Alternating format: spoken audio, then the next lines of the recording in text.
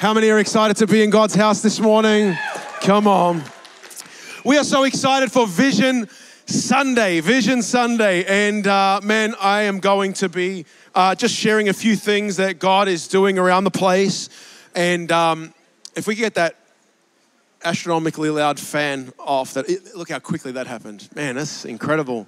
Power of the word. Thank you, whoever did that. But um, yeah, we're going to be preaching and just kind of updating you guys as a church uh, around the vision of the house. And you know, sometimes, um, actually, I got I got told off last week for not doing this. I'm going to do this this week. Can we welcome our online family? Is that the camera? People watching from all over the place, and so God bless you. Welcome. You are part of this house. You are part of this vision, and I mean, Jared's going to share a little bit uh, later on around FSM. But we've got 18 online students this year from all over the nation and different countries tuning in. And so um, God's doing something through the online ministry. And so that's uh, really, really exciting. And so, what I'm going to do today is just run through a few things and kind of update you on a few different key things that we're doing as a church and partnerships and what have you.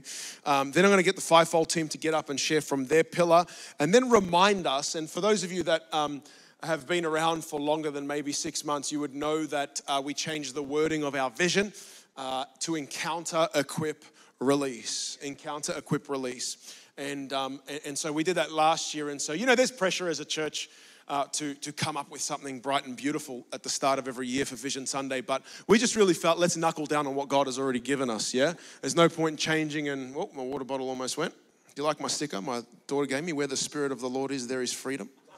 There we go. It's an anointed water bottle now.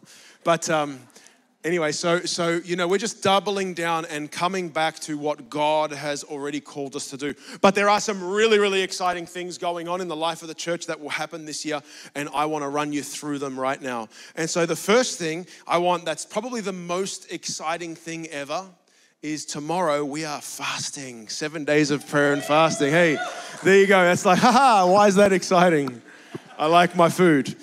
But uh, as you would know, if you don't know, twice a year we go on a corporate fast, seven days at the start of the year, 21 days in the middle of the year.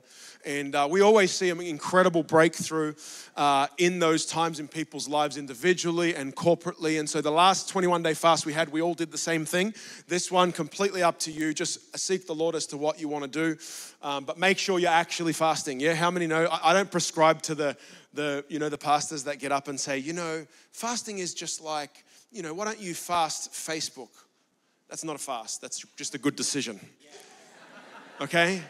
So, fast is abstaining from food, just to clarify, okay? And uh, while, while getting off social media for seven days is probably a good thing for your soul, it's not a fast. And so, make sure you do a biblical fast, however, the Lord leads you, and uh, that'll be really good. And so, what you can do is you can jump on that, uh, that QR code thing, and that'll take you to a, a, booklet where we pray for the same thing for seven days. Um, and just keeps us all kind of in the same space. And I really believe in for God to do some amazing things during this time. And I, I love seven days of prayer and fasting, and I'm looking forward to seeing all of your skinny faces next Sunday. Amen. Amen. And so, just a couple of things around that. Um, we always do one prayer meeting corporately, and I, I, just want to invite you to come to that. That's this Thursday at 6 p.m., 6 till 7. Uh, here in this building. And so I would encourage everybody to come along to that. It's very, very important to pray together corporately. It's important to have a prayer life uh, individually, but very important to come together corporately. And uh, I understand life can throw curveballs at you, and especially those of you with young families, it can be it can be tough. But can I ask you if you're going to send someone, you know, if if you can't all come, um, you can bring the kids, that's fine. If you can't all come, then um, please send someone. I would recommend sending the spiritual leader of the home, the husband. Yeah, we're bringing, we're bringing men back. Yeah, I was going to say we're bringing sexy back, but we're not doing that. but uh, we are, we are, you know, we're just, we're just trying to get things in order here, all right? So praise the Lord. But anyway, please come along to the prayer meeting, and it's going to be great. One hour. It's not going to be a revival prayer meeting till all hours of the morning. We'll, we'll do that at other times of the year, but this is one hour coming together, praying, and then um, you can go home. And that's going to be a really important one to come to Thursday. Uh, some of the emails have gone out, and this is our fault around dates. The men's prayer meeting was meant to be on at that time, and so we're pushing that out until the 7th of March. So, men, please keep your ears peeled for that. Ears, eyes peeled, ears peeled, ears open ears and eyes. all of that stuff to get to the men's prayer meeting as well. So that's this uh, Thursday, the all in prayer meeting here for every gender. There's only two of them, by the way, both genders. Amen. It's 10:30, man. I'm loose. Like I'm done for the day, guys. So you're gonna you getting the loose part of me. Praise God. Hey, the next thing that we mentioned last uh, week is Freedom Street Teams. I'm really excited about this Freedom Street Team. So, for those of you that don't know, we, um, as a church, part of our DNA, getting out on the street preaching the gospel. And uh, we used to do this every week for a very long time. COVID hit, things changed. And so we are doing that again. It's, it's starting Saturday, the 2nd of March, here at 1 p.m. I know that we're going to get all of the crazy evangelists in the room, but can I challenge you if that's like, oh, that's not me, you're the perfect person to come. You are the perfect person to come. The, the idea is to equip the whole body to, to know how to share their faith. And um, Matt's going to be leading that. And the idea is to get a whole bunch of people together, and then we'll actually split off into teams and create that um, culture again. I think it's very important. Number one, to get over the fear of man. How many know the fear of man can bind you? What's the worst that someone could say? No. We just got to get used to being rejected because Jesus was rejected as well. And then you'll also have some successes and people will uh, come to Christ. And it's just our job. How many know it's just our job to scatter seed? It's not our job to save anyone. Bible says some sow, some water, but it's God who gives the increase. And so we're to just scatter seed everywhere we go. And so that's something that we're really excited about. And the idea of um, street preaching or going out and sharing the gospel is that the event would turn into a lifestyle. It's not about the event. The event is meant to lead to the whole body being able to share their faith everywhere they go. Amen. All right, next one that we're going to be doing this year, which is really exciting. Um, how many remember the Te Puke Gospel Crusade last year? Man, that was so much fun. Just so you know, we had in a town of 10,000, 1,500 turn up. We gave away over a thousand burgers. We saw over a hundred decisions for Christ in the park. 62 baptisms we got in the paper, but we won't talk about that. Uh, you know, and we saw deliverance as a revival in the park. And so uh, we are super excited to announce that in spring of 2024, we are going to be having the Rotorua Gospel Crusade. In spring of 2024, and so that might make you ask the question are we going to plant there? We have our eyes on Rotorua, okay? We just got our eyes on it right now. And so we feel like the next uh, logical step uh, is to go and preach the gospel and do the mahi in the spirit, get some people saved. We've got a small group over there already, and Hannah and Keith uh, really launched that small group. People that are coming from Rotorua to um, here on a Sunday, and for small groups, we've got FSM students that are traveling from Roto Vegas all the way here. And so we're really, really excited for what God's going to do in that place. Uh, those people in that small group are wanting a church, and so we are just we're just uh, obeying the call of God. And so I'm really excited. The teams will be announced uh, shortly, and so you can get on board and and serve and uh, do all that good stuff. So Rotorua Gospel Crusade this spring, I think it's going to be an absolute winner. Uh, we're going to go there and bring Jesus to that place. And, and so I'm really excited for what God's going to do in that city. Amen. All right, the next thing in regards to missions, again, just updating everybody. As a church, um, we have up until this point, uh, we put away 10% of all the income that comes into the church um, as part of our missions budget. Now, missions uh, is comprises of church planting, whether that would be Freedom Centre churches or other churches. So, just so you know, uh, we we love giving to churches that are coming, especially into this city, because what happens, just so you know, in church life is that people get really protective and so it's, it's really, un, it's not kingdom. And so we just do the opposite. And so when people come to plant a church in Tauranga, we just bless them with money. Okay? And so that's what we do because we believe that the gospel is needed. And so we do that. Um, we have churches all around Vanuatu and the islands. And so we respond, up until this point, we've just responded to need. Cyclone hits Vanuatu and there's things to be built, we give. All that stuff. It's been a very responsive um, way of doing our missions uh, budget. But as a church, we feel like we are, well, we are heading into the 12th and 13th year, which means we're, we're, we're, we're teenagers now as, as Freedom Centre. We are a teenager, and sometimes it's time to, to grow up and have a little bit more strategic planning. And so, one of the things that we've been wanting to do as a leadership team is to partner and build long term relationships with some people that are doing an incredible work around the world. And so, um, I am pleased to announce that we are going to be partnering with an organization called Child Rescue. Um, and Child Rescue, which I'm really excited about. So, Child Rescue are responsible for rescuing children out of the sex trafficking industry okay, children in particular. I wanna, I wanna uh, let you know some stats about child rescue or about the child sex traffic trade. Um, is that over a million children, not people in the sex trafficking industry, just children under the age of 18, okay, over 1 million currently, and that's a very conservative figure, are exploited and abused by sex trafficking now across the world. 1 million children, okay, children, not the sex industry, children. Uh, 59% of them are from the Asia Pacific region. And it is a $99 billion per year industry. That equates, if, you, if, you're, if you're a mathematician, to $11 million per hour. So we we have an hour and a half church service, call it two hours, it's $22 million is exchanged in hands of people that are exploiting kids in the sex trafficking industry. And so I know we can't solve the whole thing, but we can do what God has called us to do.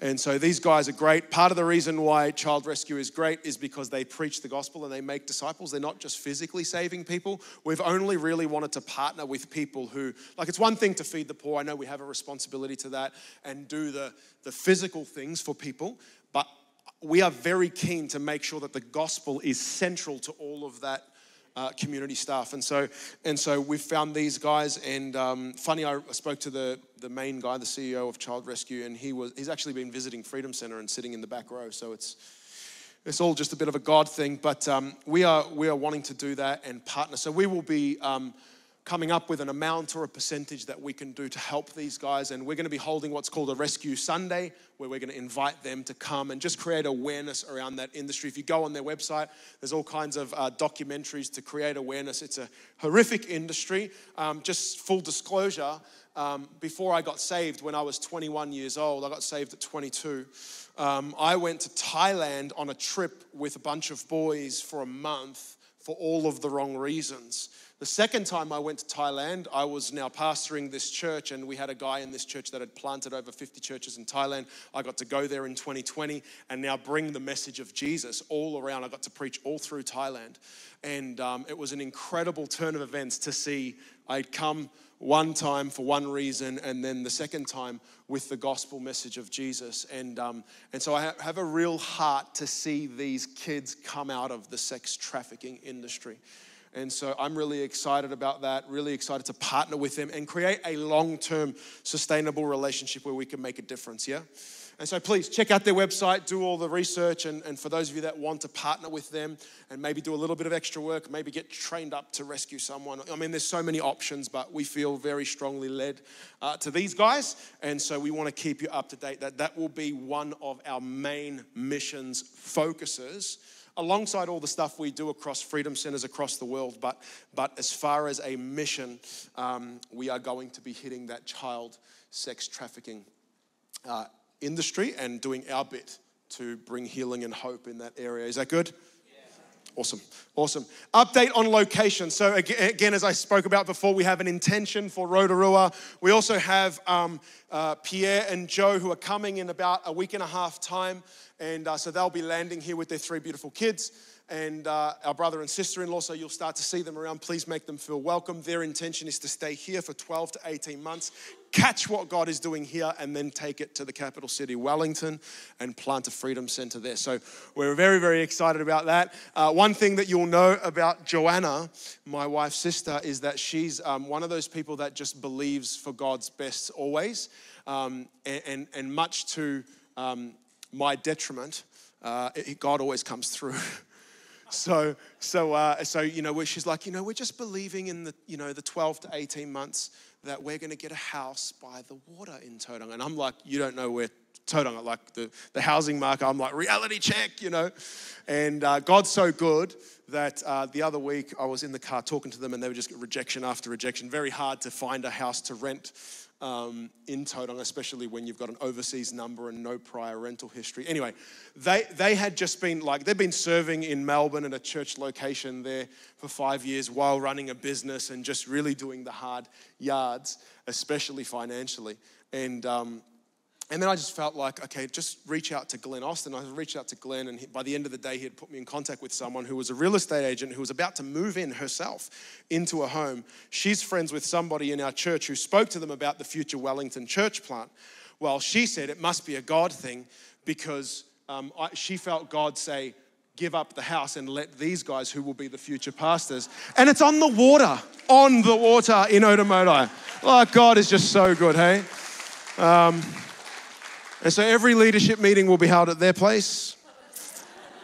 Praise God. But yeah, bless them as they come. Pray for them. It's a big move. They've got a container coming, and um, and you know, three kids and changing nations is it's a big thing. So um, if you feel on your heart that you want to support them in any way, come and speak to us. You'll see them around. The other thing around locations is in April, um, there's a team of six of us going to two uh, countries around the world. One is Japan, the other one is Turkey, particularly Tokyo and Istanbul. What we're doing there is we just feel the Lord say, Go and pray uh, through the land and also support what God is already doing there. And so, just so you know, those two nations, Tokyo and Japan, are the two, uh, as far as uh, as far as population is concerned, the largest unreached nations in the world. Turkey, Tokyo, uh, Japan and Turkey, and and uh, in particular, 0.01% Christians. Crazy when you read the New Testament and you see that most of the churches were actually in modern day Turkey, right? And so, especially for me, having a Turkish background, uh, pretty close to my heart. And so, we're just going to go there for a week in each nation, pray. We're meeting with other pastors and just believing that God's going to birth something. So, if you if like your heart skipped a beat when I said one of those nations, please come and speak to us. And uh, we're just believing God to do a mighty work over there. It's one thing to plant churches in a nation that already has the gospel. It's another thing. We've just felt that we've got to do something out there in the unreached nations of the world as a church. And I'm excited for whatever that looks like. Yeah. So so so exciting. Is that okay? Bit of an update for you. Can I get the fivefold team up? Can we make them feel super welcome? They're just going to give a bit of an update this morning.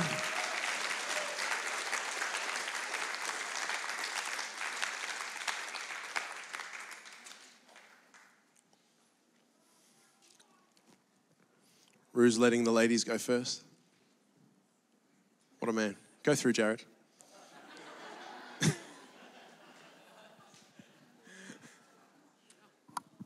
Awesome. Thank you so much, guys. Um, so, I am going to share a little bit about the prophetic space this year and what that looks like.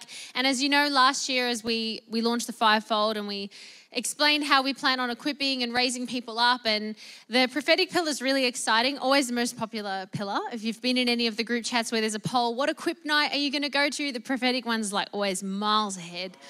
Oh, I don't know. It's just a great, it's a great department. Um, so yeah, so it's going to be really great, and we've got some exciting plans for those equip nights. And really, I, you know, I think for me, there's a part of those equip nights that I want to be able to spread out over the course of a year, a really healthy prophetic culture.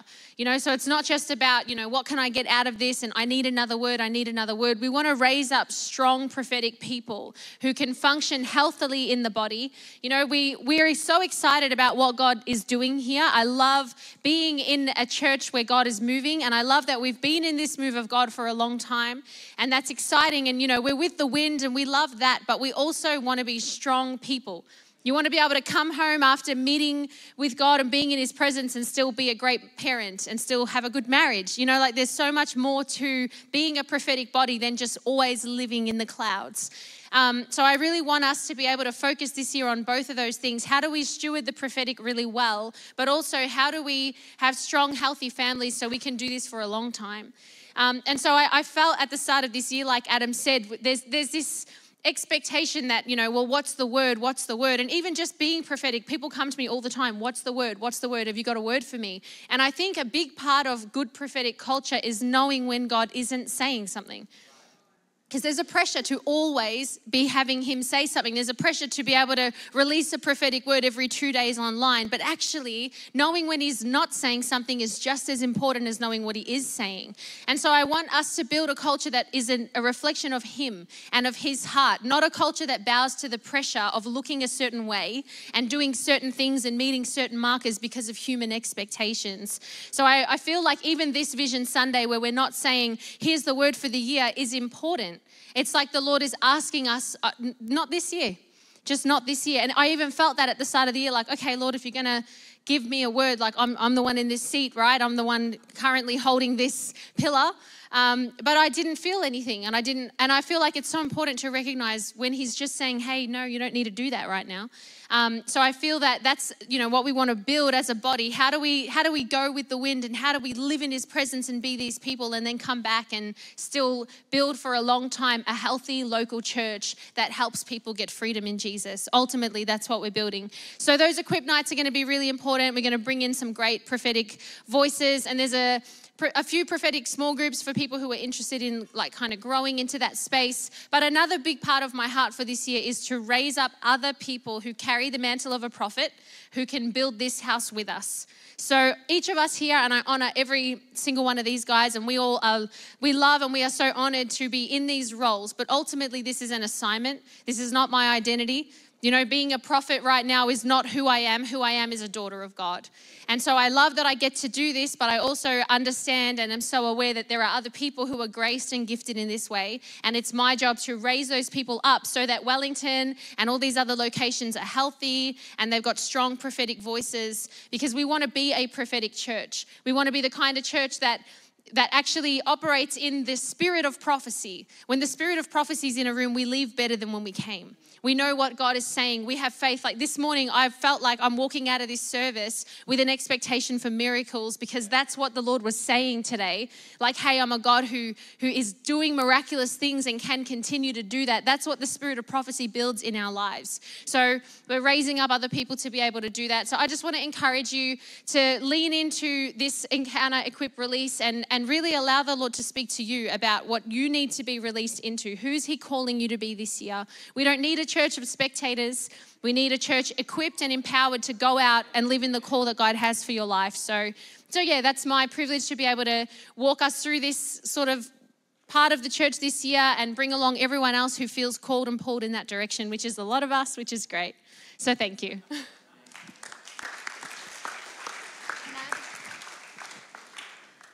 Well, one day I hope to be as smooth as my five folders when I speak, but until then, you'll have to put up with my nerves. Um, so I'm excited. Uh, we've hit the ground running operations wise this year. Uh, it feels like five months have passed, but that's not quite the case. Um, so 8th of March, 9.30 is where I'm doing my op- operations equip um, day. It's during the day um, and it's going to run every four weeks. Uh, and I'm pretty keen to build a team that will um, uh, is interested in learning about kingdom administration, uh, understanding the why behind what we do, not just how to do it, uh, but most importantly, give you practical projects to work on um, to help share the load. So uh, come along if you're up for a challenge.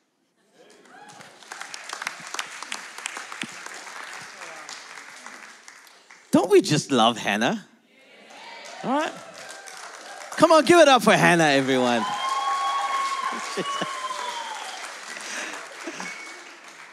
when she sees me in Te Puke, she's just gonna make everything go wrong. She'll be like, Why'd you do that, Ruth? But hey, so excited that we uh, get to come together and, and, talk about these things, but also really excited to talk to you about the pastoral pillar, which I fall into. Um, I'm super grateful for for being a part of that. But we're going to be doing a couple of things over the next few weeks that you'll see happening on the website and all of these things, and you'll hear more news about it when it comes to the pastoral, when it comes to Freedom Church and how we, Freedom Centre, and how we care, sorry, about the people for our church. Now, when we are this kind of size and when we are growing at such a rapid pace, it's hard for us to, to all do the same things and for all of us to just be one thing to everybody. Um, but what we know is that God is building up people who have shepherding hearts, pastoral hearts. There's been a few people coming to me already and wanting to have conversations about how they can get involved. Now, there's practical things that we need to do as a church to be that pastoral uh, need for the church and for God's people outside of these walls as well. But there's also the spiritual side to it. Now, the Bible talks about this when it says that, hey, if there's someone sick in your house, get the elders for the, of the church to come in, lay hands, and the sick will be recovered. Now, it's not always easy to call on Pastor Adem and Pastor Grace or Greg and Michelle or anybody else from the fivefold team or exec team, right? But I'm believing that the Lord is going to raise up people with those spiritual pastoral hearts to come in and lay hands on people and see the sick recovered. But we also know this that we have the anointing of the Lord in us, right? We, we got an incredible message in uh, Tauranga and in Te Puke around the anointing of the Lord and how that rests upon us. So you can put your hand on yourself too, and you can get the olive oil out of the cupboard and just glug it on your head and let it flow down like it flowed down the beard of Aaron. Amen. But there are some exciting things happening. I'm also super passionate to see marriages really thrive. Um, Natalie and I just really believe that the Lord is putting something on our hearts to see marriages thrive and live out the call of God in their lives. Amen. We know that this is a really strong component why God put something together called the covenant of marriage. And the world is attacking it right now. But you've heard from Pastor Adem before that we're not supposed to be a defensive church. We're meant to be on the offense. So in this season of equipping, we're going on the offense for marriages. We're going on the offense for kids. We're going on the offense for our youth. We're going on the offense for our young adults. We are believing the Lord to do something incredible. So I'm going to ask you in the next couple of months to invest into your marriage when these things come up. Get away. Have a date night. Go on a day date. Start. Natalie and I did something so cool last night, and she'll post a story about it. But anyway, it, it was this thing around. I'm going to be really quick around this, right? So I don't know if you've seen this reel going around where a day date or a day a night date, and you do it at home, and you get art supplies, and you try and do a portrait of each other. Oh man, I was Fifty Shades darker. Uh, And yeah, I'll, well, I'll post a picture of Nat so you can see it, but I don't want to say anything about it. But have fun together. The Lord has created marriage for us to have fun with each other and to have fun with Him. Amen.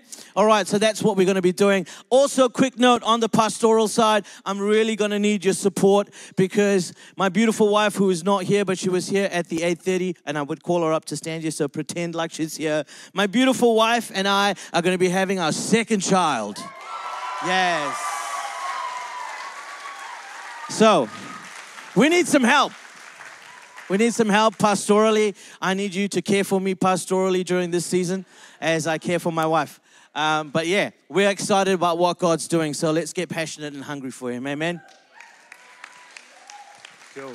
I'm so I'm so glad he's finally uh, made that announcement because there's been a couple of times I've let the cat out of the bag, having conversations and uh, people being within earshot. So, uh, so it's good. Thank you, Ruth, for announcing that. That's good news. Good news. Hey, I just want to begin with honoring uh, two women uh, this morning. One is my beautiful wife, who is at the back there, Jessica. Who knows Jessica?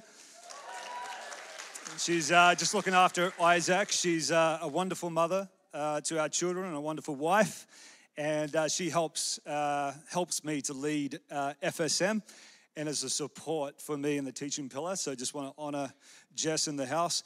And the other one is uh, Hannah, who is our administration pillar. Who loves Hannah?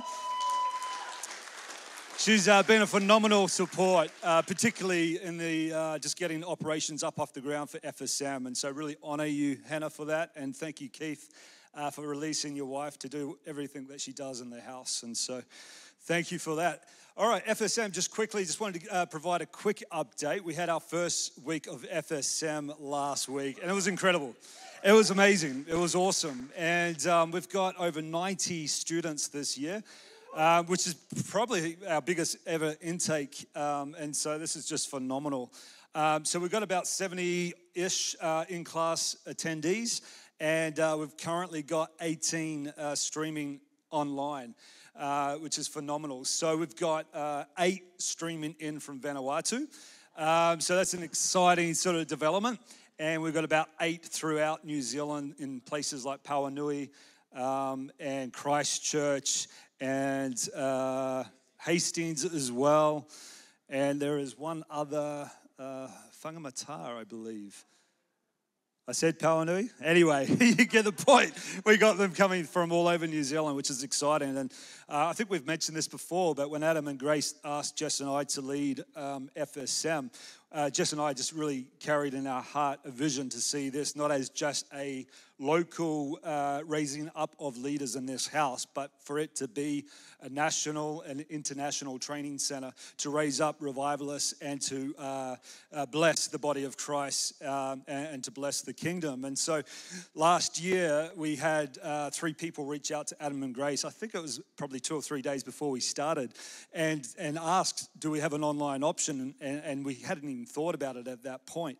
Uh, but anyway, we got things together and made it happen. So to see we, uh, that we've gone from three to now 18, the, the, the uh, future is looking bright. And uh, I think, you know, the online uh, streaming is really going to be an essential part of uh, growing and raising leaders and to help local church pastors in that as well. And so we're really excited about that. You know, we've got church plants on the horizon, we've got Rotorua, we've got um, Wellington and other locations in the future. And I can really see that uh, this is the training ground for students to uh, be equipped in the Word and to learn. Um, you know, the practical aspects of church life so that they can be released uh, into these church plants. And so it's really exciting. If you're interested in FSM at all, uh, we have actually left the application process open so you can go to the website and apply for next year. So if you're just sitting here and listening to this and you just really feel stirred, uh, that's available to you. One last thing, um, we've got a teaching equipping night uh, this Wednesday, uh, starting at 6 p.m. And I'm really excited to uh, be uh, teaching uh, on that equipping night. Just to give you a bit of a taste of what we're, what I'm going to be sharing is I want um, us to develop a love for the word. So I'm going to speak on that. And then the second part of the evening, I want to talk about the importance of the word. Uh, the power of the word in our lives. And so I'd love to have you join us. Uh, we're starting that at 6 p.m. and it will go through to 9.30 p.m. Anyway, bless you guys. Cheers. Awesome. Thank you, team. And uh, obviously, the locations is where we're moving. As uh, I'm moving, particularly as far as the apostolic pillar. Will be. I'm excited to start moving into the space of looking after location pastors and, and really looking at vision and expanding that, um, and also stepping into overseeing the uh, evangelistic pillar until that space gets filled. And um, you're really excited about the street teams coming and, and uh, doing what they're doing. So, just some all round really good stuff happening in the body of Christ. Amen. All right, hey, our vision is encounter, equip, release. Let's say it together encounter, equip, release. And at the end of the day, it's Jesus' vision, uh, biblical. We don't need to come up with anything new or fancy. Um, it, it, is, it is what God has called us to do. And, uh, and I just want to run through those three points for you and then quickly go through our core values. And really, just the point of today is just to get us all on the same page because how many know as a church grows, or even if you're a business person in this room, as your business grows, what you say no to is just as important as what you say yes to. Yeah? And so you've got to keep, you've got to know what God has called you to do so that you can put boundaries in your life. The Bible says that without a vision, the people cast off restraint, which means they have no boundaries. Yeah? And so it's very, very important that we're all on the same page eh, as a church and we know where we're going. All right, number one, encounter. I believe with all of my heart that this generation, right here, right now in 2024, needs an encounter with Jesus. 100%. There is no argument, there is no way that uh, a, a, good philosophy or, or, or some kind of argument is going to get anybody into the kingdom of God. I believe that people are crying out for an encounter with Jesus himself. And the Bible warns us that in the last days, there would be people that have a form of godliness but deny the power thereof. In other words, it'll look like Christianity on the outside, it'll sound like Christianity on the outside, but it will, def- it will deny and, and relegate the power of God to something that used to happen and doesn't happen. The very uh, X factor on our generation right now is they, they want authentic encounters with Jesus. Let me tell you, the, the, the, Gen Zs aren't impressed with lights and smoke machines. All of that has its place. But at the end of the day, we want the presence of the Lord that brings us into an encounter with Jesus. Because how many know when you meet Him, everything changes? I mean, you think of the book of Genesis, Jacob, and, and, the, and the, the ladder with the angels going up and down. He says, This is none other than Bethel, the house of God, the gateway of heaven. I mean, we are meant to be a gateway to the heavenlies. We're not meant to be a social club that does a bunch of good things, claps, and goes home. We're actually meant to be a people who come together and access heaven and bring heaven down to earth. We are people who encounter the, the love and the presence of Jesus. I know that no matter what a person's problem is, if we can bring them into meeting the person of Jesus Christ, everything will be okay everything will be okay. I know that every disease bows down to the name of Jesus. I know that every conflict bows down to the name of Jesus. And we are a people who want to bring encounter. In that encounter is what the Bible calls saved, which is the word sozo, which is the full package saved, healed, and delivered. Saved, healed, and delivered. This is what Jesus paid for at the cross. The, the, the thing is, like in John 13, where Jesus washes the feet of the disciples, he gives them a, an interesting uh, question where he says, Will you let me wash you? Will you let me wash you? Will you let me come and, and, and wash you and bathe you? And will you let me come and have an encounter with you? And I believe that when you allow the Lord to wash your feet, when you allow the Lord to bring you into the place of genuine relationship in, in His presence, everything changes. So, our job as a church on a Sunday, anyway, is to facilitate public encounters with Jesus. Everything that we do on a Sunday is, is geared towards allowing the Holy Ghost to move. People think that we plan things. It's funny, if you only knew what we don't plan, it would actually make you laugh. I don't even know what the worship team is singing on any given Sunday. The ministry times are not pre planned. We're in the front row going, hey, what do you feel like the Holy Spirit's saying? Is it this? Is it that? And then we're just getting out of the way and allowing the Holy Ghost to move. We didn't plan anything that happened in worship this morning. It's just the flow of the Holy Spirit. And that's our job to make sure that we are a people of encounter, that we are a presence driven church and not a program driven church.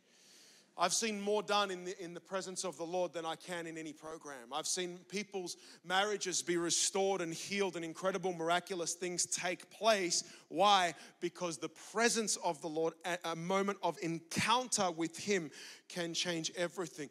But here's the heart behind the public encounter.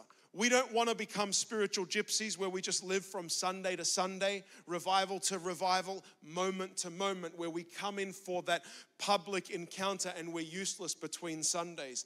Here's the thing the public touch should lead to a private kiss.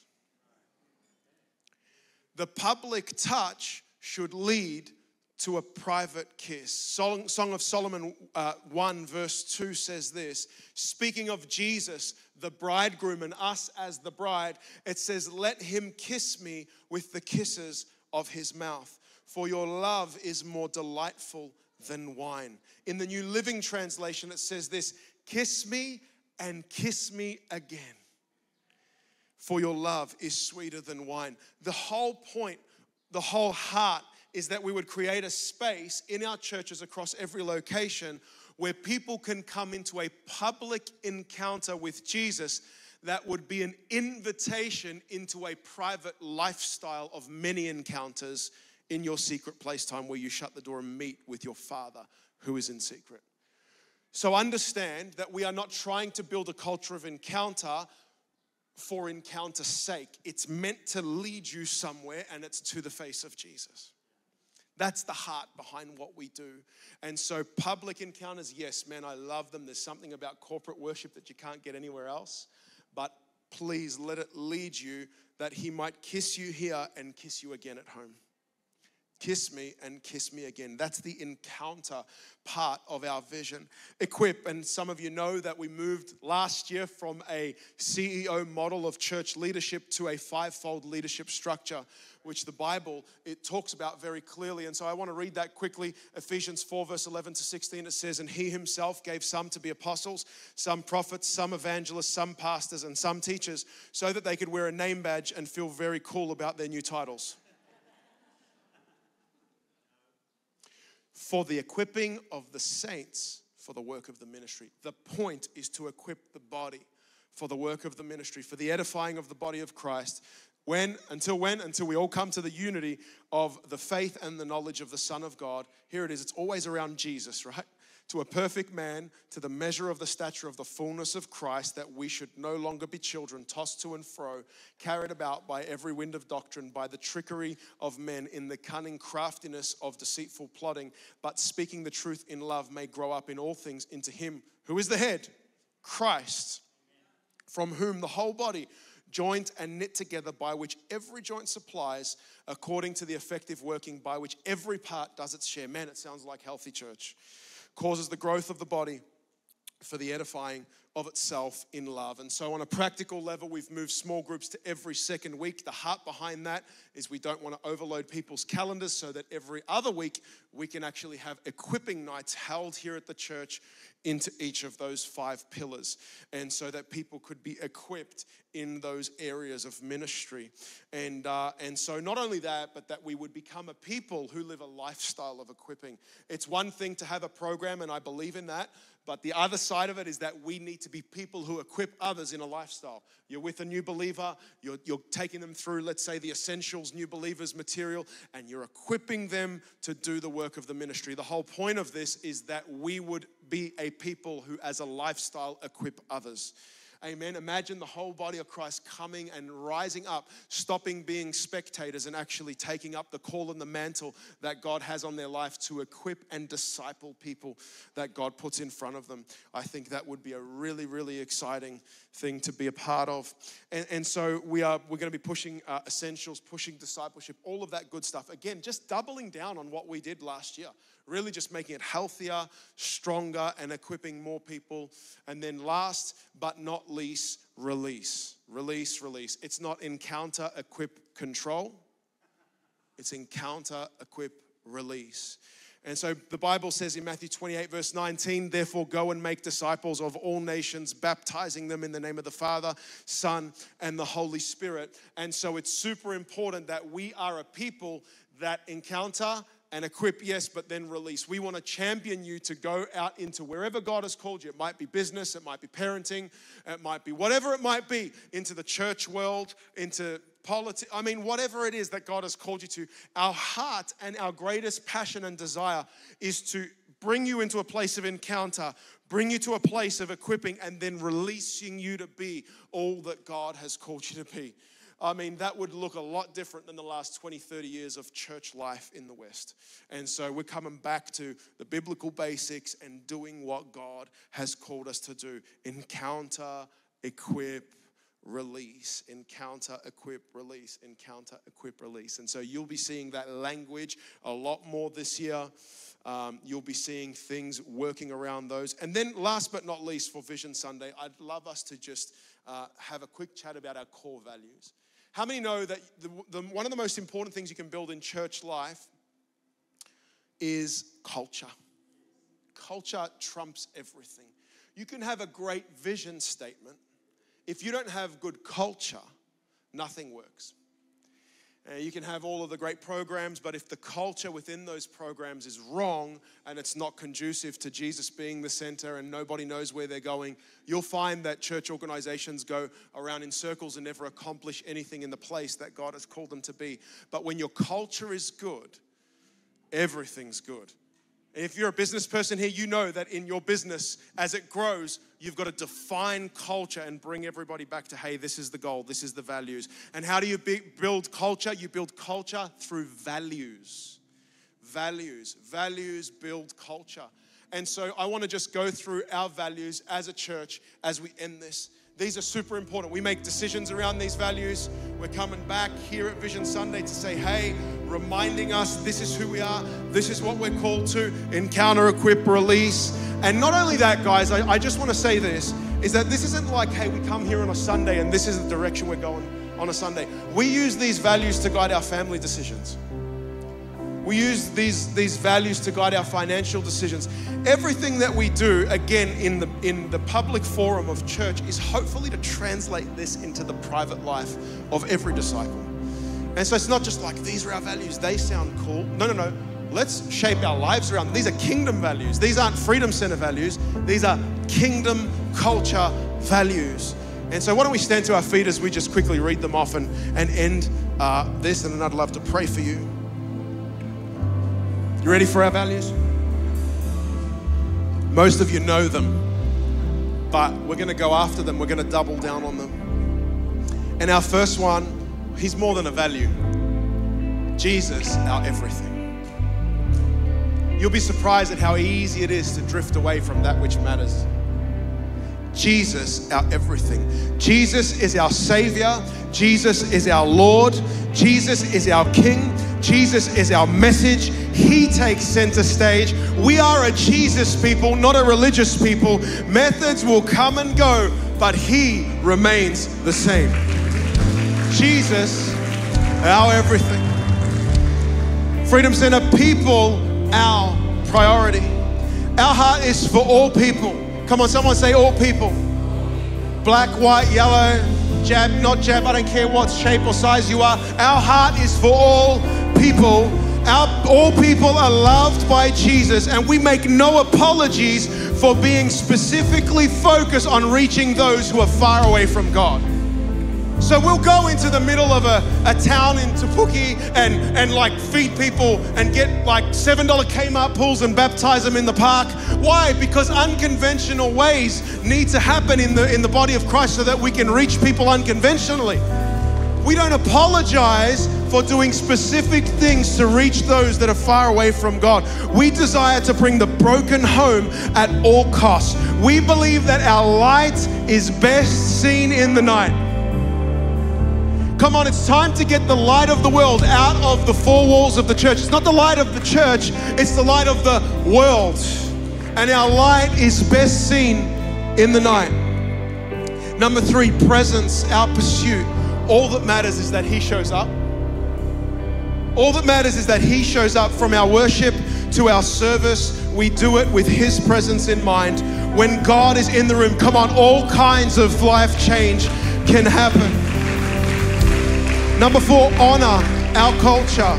We are vocal with our honor, which means we are not stingy with our words. And I know that church culture will say only honor up, but I'm here to tell you that honor goes every way down, up, left, right, back to front. We honor all people as the Bible says. It means we're not stingy with our words. We are a people who can celebrate who a person is without tripping over who they are not.